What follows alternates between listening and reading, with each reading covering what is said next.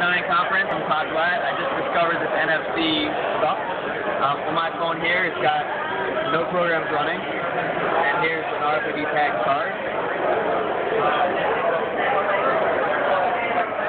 And it rickrolls you.